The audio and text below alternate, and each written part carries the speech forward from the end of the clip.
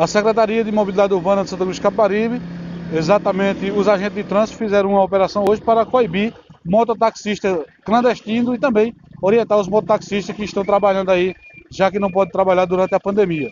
Para mais informações, eu conheço com o agente de trânsito Anderson e ele traz detalhes para a gente de como se deu essa operação na manhã desta quarta-feira aqui em Santa Cruz Caparibe.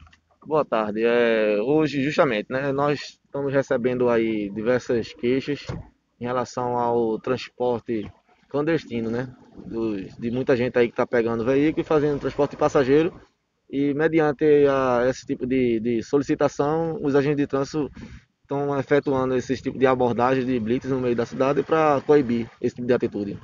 Vale ressaltar que hoje também teve algumas motocicletas que foram recolhidas para aqui para a Secretaria de Mobilidade Urbana devido aí a alguns atrasos. Isso. No dia de hoje fiscalizamos 24 mototaxistas, certo? Dentro dos 24 é, foram é, escritas sete notificações e removidos três veículos. Tudo com irregularidades devido a CRLV e transporte de passageiros, né? Os mototáxis, como ainda não estão podendo trabalhar devido à pandemia, então, se for pego também transportar um passageiro, também corre o risco de ser notificado. Isso, nós estamos dando inicialmente uma orientação, né, é, para que eles aguardem aí o decreto do governo estadual para que sejam liberados, né? Inicialmente estamos fazendo esse tipo de, de aviso. E a fiscalização hoje ela foi mais específica para o clandestino mesmo. Futuramente, vocês pensam em fazer alguma blitz em relação as fiscalizações de veículos de lotação, veículos de passageiros?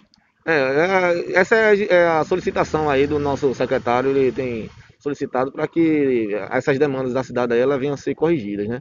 Então vamos intensificar bastante agora nos últimos meses aí essa questão de fiscalização. É, Toyotas, transporte de mototáxi, esse tipo de todo tipo de infrações que tenham sido acometidas no centro da cidade.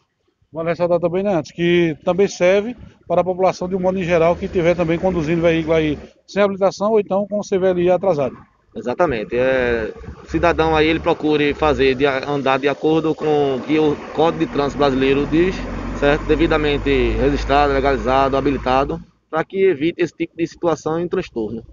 Antes, obrigado por suas palavras e aí você fica à vontade para as suas considerações finais. Não, agradecemos aí a compreensão e a solicitação aí da população. Pedimos aí que tenham paciência, a equipe do trânsito está trabalhando para ajudar é, na mobilidade, para que a mobilidade ela seja flua direito aqui na cidade e, e, contamos aí com a presença e a ajuda de todos. E que a população também chegue a, a contribuir com o trabalho dos agentes de trânsito. Exatamente. Trabalhando e entendendo aí que nosso trabalho é um pouco difícil aqui na cidade, mas estamos trabalhando para coibir todo tipo de conduta que venha colocar em risco a, a, a vida da, da, população. Vamos chegar aí ao objetivo final. Além do agente de trânsito, Anderson, quem mais esteve na operação? Hoje teve o efetivo do dia, o inspetor Arnaldo, é, o Luiz, o Michel, o Hamilton, o Alisson, o inspetor Alisson. Foram diversos agentes de trânsito, aqui, aproximadamente 10 agentes de trânsito e o apoio da guarda também da GCM que esteve presente aí fazendo nossa, nossa segurança. Estas foram as palavras do Anderson, ele que é agente de trânsito aqui em Santa Cruz Caparibe, e relatou aí sobre essa operação que foi realizada durante a manhã aqui em Santa Cruz Caparibe. Com imagens de Anderson Mardoqueu, reportagem de Ademilton Silva.